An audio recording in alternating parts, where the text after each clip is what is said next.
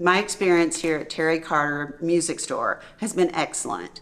I was looking for a KoAloha uh, tenor slimline, and he had them in stock, ready, set out for me to look at. There's a person on staff here to restring it. I wanted the red strings and a low G. They did it on site.